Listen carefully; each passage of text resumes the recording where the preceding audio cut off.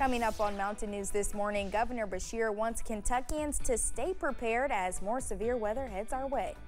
And one organization is planning to open a Boys and Girls Club in eastern Kentucky. Dedicated to eastern and southern Kentucky, this is WYMT Mountain News This Morning. Good morning. I'm Madison Carmouche. We are coming up on 6 a.m. on May 8th. Hard to believe we're already here. Let's check in with meteorologist Tim Drawbridge on this first alert weather day. And time is certainly flying by, Madison. Hi, everyone. A good Wednesday to you. It is indeed a first alert weather day again here on WYMT, and good reason. We've got a level three enhanced risk for severe weather across all of eastern and southern Kentucky. Not only that, but a flash flood risk as well. Damaging thunderstorm wind gust potential at a minimum with the flash flood risk. Can't rule out the potential for some large hail or a few tornadoes as well late this afternoon into tonight. All modes on the table. And again, that time frame heading through the dinner hour as the sun is setting, the most concerning today. 68 last check outside our door here at WYMT, and temps are all basically mid and upper 60s into the lower 70s, a little bit warmer toward Pulaski and Wayne counties. Good intense downpour coming into Pikeville right now looking a little peculiar, so maybe some good gusts of wind, especially since it coincides right now that outflow boundary that continues to track closer toward Hazard and northern portions of Perry County. Good bursts of wind, maybe some spitting drops, some heavier bursts of rain Booneville back toward McKee. All right, that's the close-up of what's coming into Pikeville. More about the radar coming up in just a few moments. Madison? Tim, thank you. State leaders are asking you to stay safe with more storms on the way.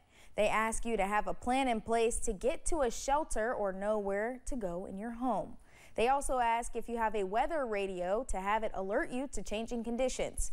You're also encouraged to stay off the roads during the severe weather. Governor Beshear says Kentucky is ready to respond to emergencies with the weather. We've activated our Emergency Operations Center. Uh, we have all the different cabinets and groups that come in.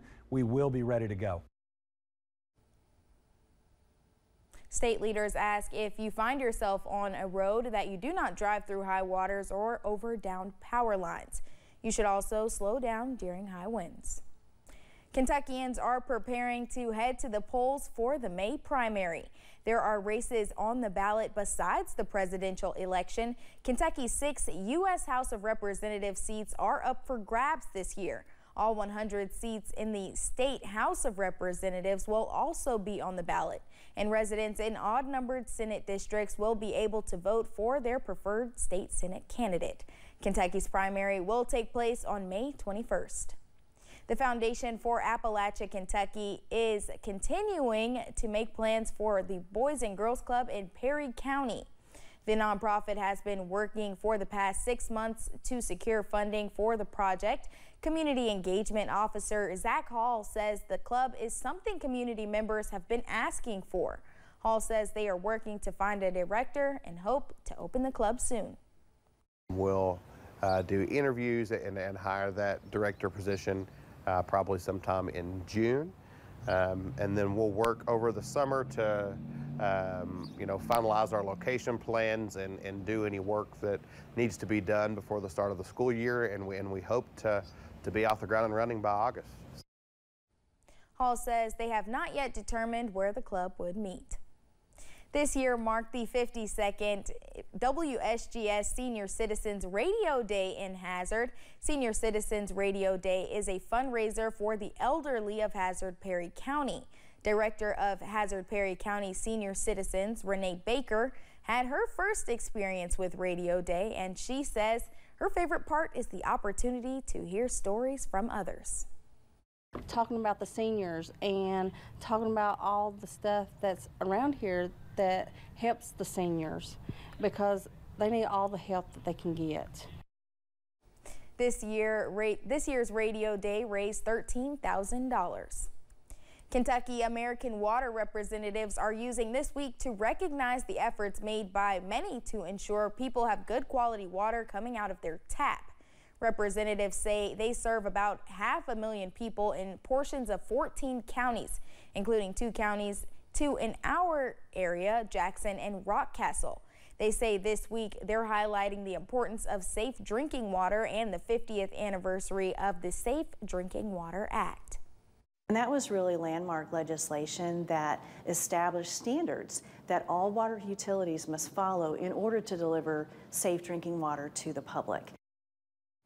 Susan Lancho with Kentucky Amer American Water says the U.S. EPA is always looking at emerging contaminants that may come down the pipe in the future. She says their team tests the water in their plant in their treatment plants 24/7.